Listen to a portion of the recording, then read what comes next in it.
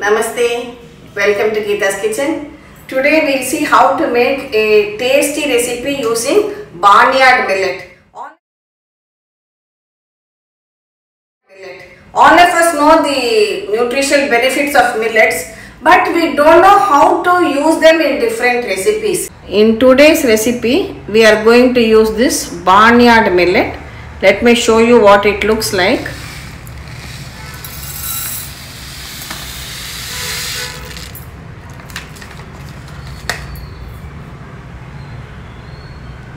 So here I have taken 1 cup of barnyard millet also known as Sama in Hindi or Sawa Chawal or uh, Kuthiravalli in Tamil, Savulu, whatever your language, any other language please look up Google. So first I am going to dry roast this.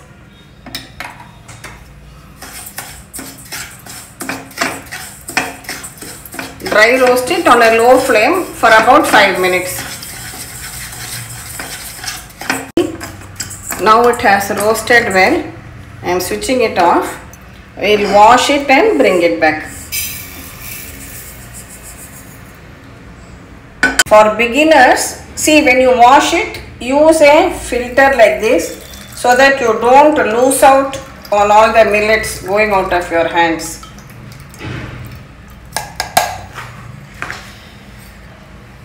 Next, I'll take about a tablespoon of oil in a pan some mustard seeds, urad dal,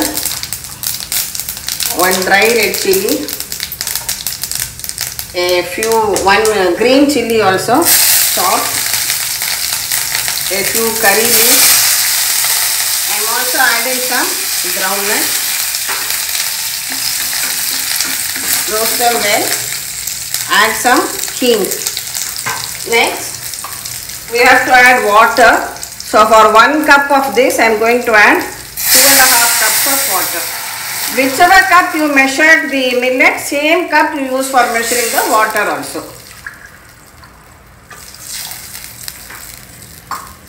Here I am adding a tablespoon of grated coconut.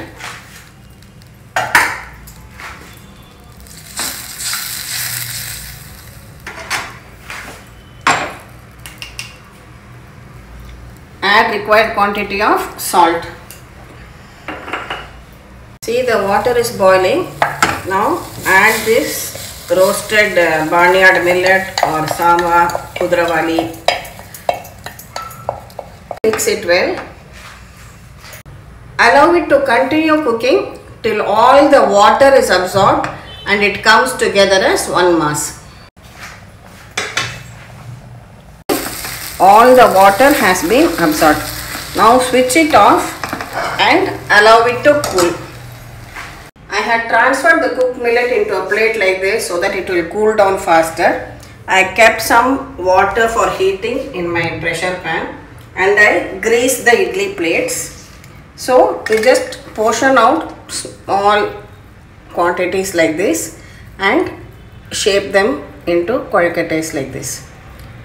If you want you can just dip your fingers in a little bit water so it will be easy to shape.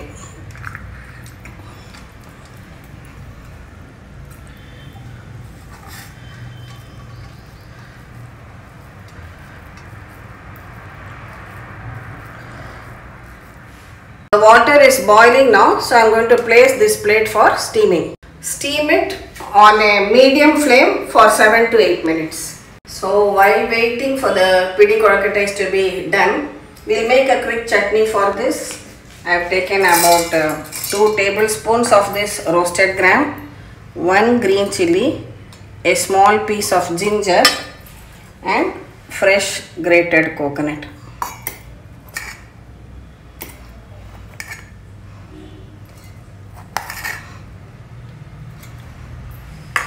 Am going to add a few curry leaves to this also so that we get the benefit of the curry leaves too. We will blend it into a fine paste. Adding some salt to the chutney.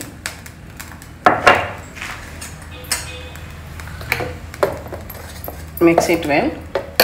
Then finally we'll just do the tempering for the chutney. Meanwhile I have switched off the cooker. Give it 2-3 minutes before you open it.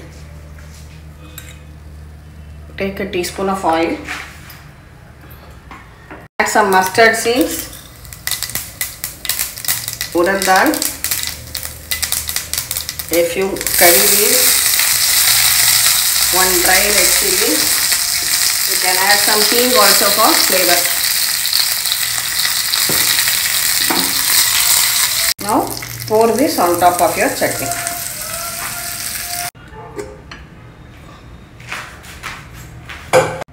See the millet croquettes have steamed well. I'll keep it aside. Now I kept the second batch also for steaming.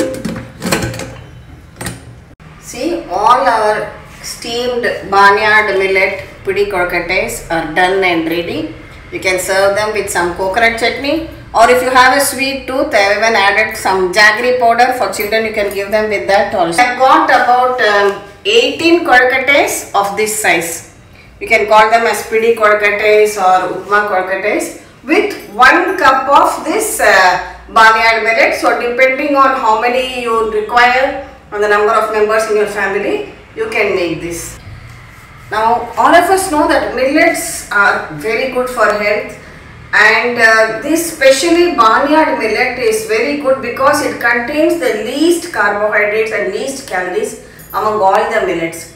Also it is a very good source of protein and very digestible protein also and it is got uh, excellent fiber in it. It's very good for uh, type 2 diabetics, cardiovascular patients, those who want to reduce weight. It's a really really healthy food. So you try to introduce this. This can be given to small children. After 8 months also you can give them as kheer or uh, one, uh, one or two year olds you can give them as idli, dosa, chila. Small children, adults, elderly, everybody can eat this. And it has been first roasted then it has been boiled and again steamed. So it is really very well cooked packed with nutrition. So definitely try out this recipe. This can be served as a breakfast item tea time item also during dinner generally we eat this as fasting recipe also especially with the upcoming navratra many people don't eat rice at that time and they use this sama and different variations maybe uh, you are not allowed to eat hing omit the hing continue with the rest of the recipe. Similarly adding of groundnuts you just make the small changes according to what are your uh, preferences but still enjoy the benefit of this wonderful millet which is really really a powerhouse of uh, nutrition Thank you for watching the video. Please subscribe to Gita's Kitchen and don't forget to tap the bell icon for notification about my latest updates.